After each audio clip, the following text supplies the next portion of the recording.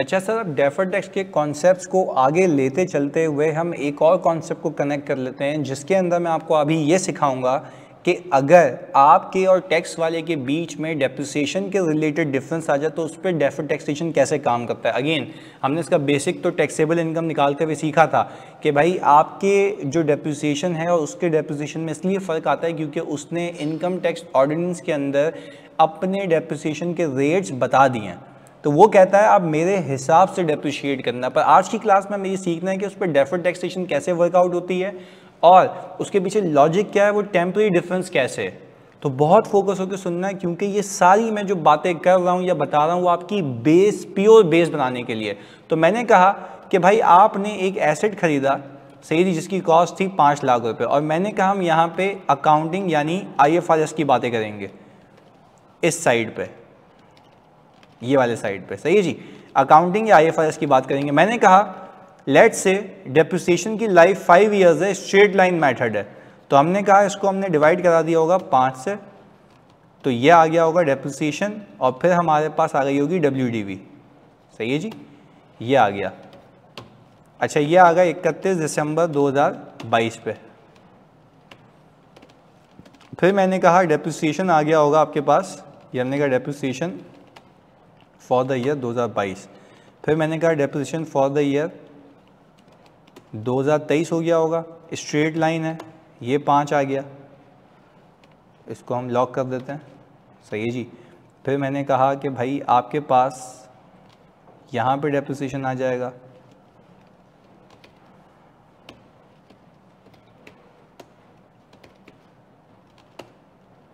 सही जी। आपने कहा कि सर, ये आ गया। फिर आपने कहा ये आ गया डेप्रिसिएशन 2024 का और हमने कहा इकतीस दिसंबर 2023 है। फिर आपने कहा कि सर इसको सम कर लें। फिर आपके पास ये आ गया, आपने कहा सर ये इकतीस दिसंबर 2024 है, यानी कितने साल होगा एक साल, दो साल और तीन साल। पाँच सालों का एसेट है। तो मैंने कहा सर, अब मैंने कहा डेप्रिसिएशन फॉर द ईयर 2025 आ गया। तो आपने कहा सर, अगर मैं ये करूँ तो इन दोनों का सम आपके पास आ गया ये। और आपने कहा डेप्रिसिएशन 2026 आ गया। तो ये आ गया। तो यहाँ पे आपके पास ये अमाउंट आ गई है एकदम ज़ीरो यानी सर अगर मैं बात करूँ यहाँ पर कि आपने ये डेप्रिशिएट कर करके कर करके कर करके उसको आप किस पे लेके आ गए सर, आप ज़ीरो पे लेकर आ गए ये हो गया as far as accounting is concern अब इसको आगे लेके चलते हैं। मैंने कहा, अब यहाँ पे एज पर टैक्स अथॉरिटीज़ की बात कर रहे हूँ अच्छा भाई एज पर टैक्स अथॉरिटीज़ को, हम ज़रा यहाँ से यूँ कटाते हैं। कॉस्ट आ गई है जनवरी 2022 की। अच्छा हमने कहा ये भी सेम है। अब यहाँ पे जो मैं लाइफ लिख रहा हूँ और मैं अज्यूम कर रहा हूँ ये भी स्ट्रेट लाइन पे लेके चल रहा है। अजम्पन है मेरी। सही जी, चार साल। ये आ गया फोर इयर्स अच्छा भाई, अब मैंने क्या किया होगा? इसको टेक्निकली डिवाइड किया होगा चार से। तो ये आ गया एक पच्चीस। ये आ गया। फिर मैंने कहा, सर, इसको वापस डिवाइड किया होगा चार से। फिर ये आ गया एक पच्चीस। फिर ये सम हो गया। फिर मैंने कहा कि, सर, मैंने इसको डिवाइड किया होगा चार से। फिर ये अमाउंट आ गई। और सर, फिर मैंने इसको डिवाइड किया होगा चार से। इसको सिंपल कर लेते हैं। ये रहा। ये आ गया एक पच्चीस। ये हिसाब किताब है। अच्छा अब यहाँ पे मैं कहूँगा नो डेप्रिसिएशन क्यों? सर, वो पूरी डिडक्शन अलाउ कर चुका है। तो हमने कहा ये तो ज़ीरो ही हो गया। ये बात हो गई है अकाउंटिंग और टैक्स के हिसाब से। बहुत फोकस होकर समझना, बहुत फोकस होके। मैंने कहा, सर, अगर मैं पहले साल की अकाउंटिंग कराऊँ आपको 2022 की। सही जी? तो मैंने कहा let's say profit before tax मैंने 1.2 मिलियन का रखा हुआ है। मैं आप सबसे ये पूछता हूँ, क्या आप ये बात मानते हैं कि इस 1.2 मिलियन से जो है एक लाख रुपए का डेप्रिसिएशन ऑलरेडी लेस हुआ हुआ है। एक लाख रुपए का डेप्रिसिएशन ऑलरेडी लेस हुआ हुआ है। कहाँ से सर इस 1.2 मिलियन में से। एस पर अकाउंटिंग माइनस हुआ हुआ है। हमने यहाँ पे क्या पार्क की होगी? एडजस्टमेंट टैक्स वाला कह रहा होगा कि भाई डेप्रिसिएशन एडजस्टमेंट करें आप कितने की? सर आप इतने की करेंगे कि ये इसमें से ये माइनस हो जाए। सही जी? तो आपने कहा इसमें से ये माइनस करेंगे, आप एक पच्चीस में से ये हटा देंगे। तो आपने टेक्निकली कहा, पच्चीस हज़ार रुपए का आप डेप्रिसिएशन ज़्यादा बुक करेंगे, क्योंकि टैक्स वाला आपसे ज़्यादा बुक करवा रहा है। तो हमने कहा कि सर, जब मैंने इसको माइनस किया, जब मैंने इसको माइनस किया फोकस होकर देखना, जब मैंने इसको माइनस किया तो मेरी टैक्सेबल इनकम क्या हो गई? कम। अगेन आपके और टैक्स वाले के बीच में एक डिफरेंस आ गया। कितने का? सर, पच्चीस हज़ार रुपए का। अब सुकून और तामुल से इस बात को लॉजिकली ग्रिप में लेके आना, क्योंकि अगर ये मिस हुआ तो गया कौन सा हाथ से क्या आप इस बात को मानते हैं कि आपके पास जो अकाउंटिंग डेप्रिसिएशन है, वो एक लाख है? ये रहा। टैक्स वाला कह रहा है, मेरी नज़र में आप ले लें पच्चीस हज़ार रुपये ज़्यादा। तो भाई क्या वो ताया का लड़का है? मतलब क्या वो जानने वाला है जो आपको पच्चीस हज़ार रुपये ज़्यादा दे रहा है? नहीं भाई, नहीं। वो, ये टाइमिंग डिफरेंस है। क्योंकि अगर मैं आपको यहाँ पे बताऊँ कि अगर आप इसमें से ये माइनस करें, उसने 25 यहाँ ज़्यादा अलाउ किया 25 यहाँ ज़्यादा अलाउ किया 25 यहाँ ज़्यादा अलाउ किया। कितना ज़्यादा अलाउ कर लिया चार सालों में? एक लाख। अब बात समझें 2026 आएगा। 2026 जब आएगा ना तो आप एक लाख रुपए का डेप्रिसिएशन उसमें क्लेम करके बैठे हुए होंगे अपने पीएनएल में। टैक्स वाला बोलेगा, बेटा, इसको ऐड बैक कर। इस पर मुझे टैक्स दे। तो क्या ये बात समझ आई? पहले तो एक चीज़ क्लियर की मैंने कि आज वो जो ज़्यादा 25 25 25 25 माइनस करके आपको दे रहा है वो फ्यूचर में जाके इस पर एक साथ टैक्स ले लेगा। क्योंकि आपको वो कह रहा है कि भाई तुम हर साल मुझसे पच्चीस पच्चीस हज़ार रुपये ज़्यादा क्लेम कर लो पच्चीस पच्चीस हज़ार रुपये ज़्यादा क्लेम कर लो सही है जी? कितने सालों में? चार सालों में। क्योंकि उसके हिसाब से लाइफ कितनी है? चार साल। आपके हिसाब से पाँच साल। पाँचवें साल में जाके जब आप वो डिडक्शन क्लेम करेंगे तो बोलेगा, भाई, अब कोई माफ़ी नहीं है। मेरी नज़र में ये एक्सपेंस है ही नहीं। तो आप बोलेंगे, मेरी नज़र में तो एक्सपेंस है भाई। बोलेगा, भाई, आपकी नज़र में एक्सपेंस होगा, पर आपने टैक्स पे करना है मेरे हिसाब से। क्योंकि मैं ये 25-25 करके आपको एक लाख रुपए पिछले सालों में अलाउ कर चुका हूँ। अब आप इसके ऊपर मुझे टैक्स दें। कब? आखिर में। तो यानी टेक्निकली सर, ये सेटल हो जाएगा। पहले तो ये कहानी क्लियर हो गई। This is a temporary difference ये टेम्परी डिफरेंस है। पर अब जो आपके और टैक्स वाले के बीच में डिफरेंस है पच्चीस हज़ार रुपए का, अब मैं कह रहा हूँ कि टेम्परी डिफरेंस है टैक्सेबल डिफरेंस है, आगे जाके टैक्स होगा। तो ये हो गया टैक्सेबल डिफरेंस मैं यहाँ पर लिख देता हूँ टैक्सेबल टेम्परी डिफरेंस टैक्सेबल अभी प्रूव किया है कि ये 25 25 25 करके वो आगे जाके टैक्स कर लेगा। जब आपको टैक्सेशन जब आप इसकी एक लाख की डेपोजिशन आखिर साल में क्लेम करेंगे, वो नहीं करेगा। क्यों? आगे जाके इस पर टैक्स ले लेगा। जो कि आज वो ज़्यादा अलाउ कर रहा है, आगे जाके इस पर टैक्स मांग लेगा। बट वो क्या कहता है? हर एक टैक्सेबल डिफरेंस पे क्या बुक करना है? डेफर्ड एक्सपेंस ये आई एफ़ की जबान में बताया। अब अपनी जबान में समझते हैं।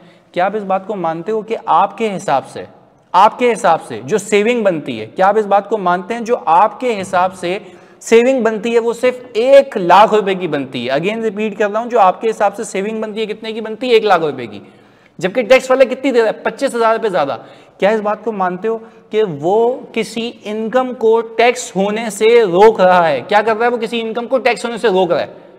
जिस पे टैक्स बनता है इस साल है। तो हम तो कहते हैं ना कि हर टैक्सेबल डिफरेंस पे डेफर टैक्स एक्सपेंस बुक करना, क्योंकि उसके ऊपर टैक्स बनता है इस साल है आई के हिसाब से। तो टेक्निकली आईएफआरएस के हिसाब से जो मेरी सेविंग बनती है, वो एक लाख रुपए में बनती है। तो वो एक लाख तो इसमें से माइनस हुआ हुआ है ना? टैक्स वाले कह रहा है, पच्चीस और माइनस करो, यानी पच्चीस हज़ार रुपए की कोई एक्स वाई जी इनकम को टैक्स होने से रोक रहा है जिसपे टैक्स बनता है इस साल है। तो हम उस पर क्या बुक कर लेंगे? डेफर टैक्स एक्सपेंस और उसके अगेंस्ट में defer tax liability this was all the concept तो मैंने क्या किया? मैंने सर टैक्स रेट यहाँ पे लगा दिया। कितने का जानी? उनतीस परसेंट का।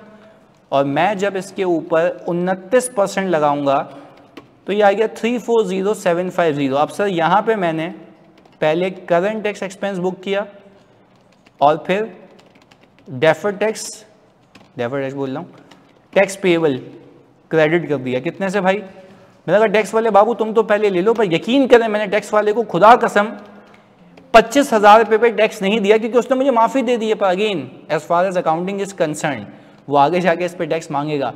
जब पाँचवा साल आएगा ना तो वो पाँचवें साल में जाके इस पर टैक्स मांग लेगा। मैं कहूँगा, वो टैक्स तो पिछले साल का था। वो टैक्स तो पिछले साल का था, मैं बुक भी कर चुका हूँ।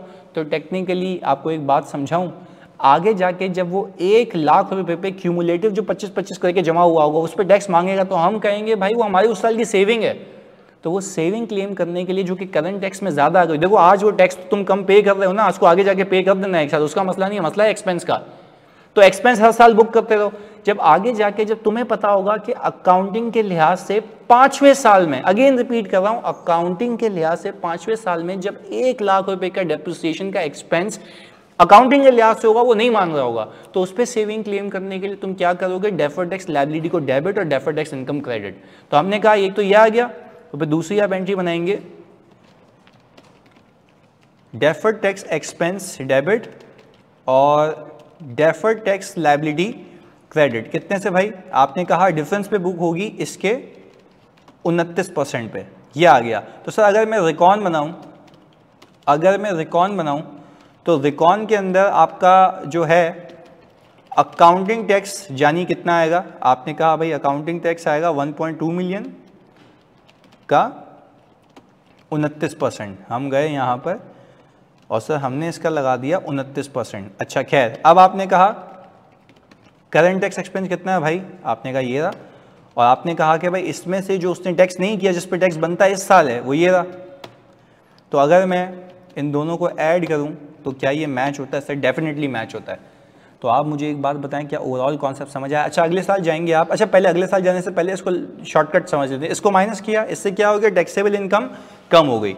टैक्सेबल इनकम कम हो गई तो इसके ऊपर आने वाला रिजल्टेंट टैक्स भी कम हो गया। अकाउंटिंग का टैक्स ज़्यादा है।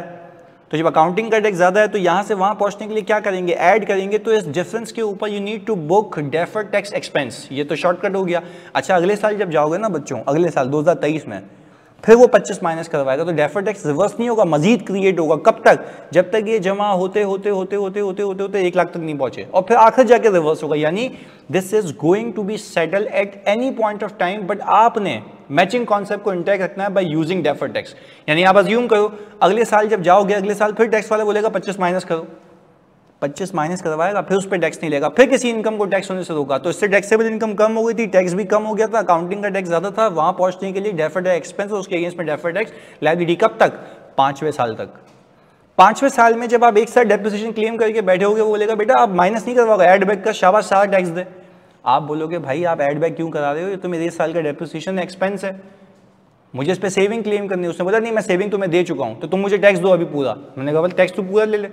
अब मैं अकाउंटिंग कॉन्सेप्ट को मैचिंग कॉन्सेप्ट को इंटैक्ट रखने के लिए मैं क्या करूँगा? अपनी डेफर टैक्स जमा कर पाया हूँ उसको रिवर्स करके डेफर टैक्स इनकम बुक करूँगा तो पेमेंट टैक्स के हिसाब से हो जाएगी एक्सपेंस की अकाउंटिंग आई के हिसाब से हो जाएगी। बात क्लियर है?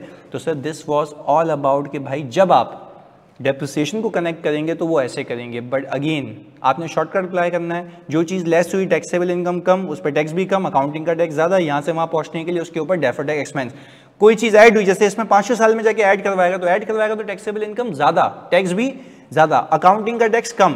तो टैक्स वाले टैक्स से अकाउंटिंग टैक्स पे जाने के लिए defer tax income but you have the pure logic behind it clear है? मिलते हैं जी, जजाकल्ला।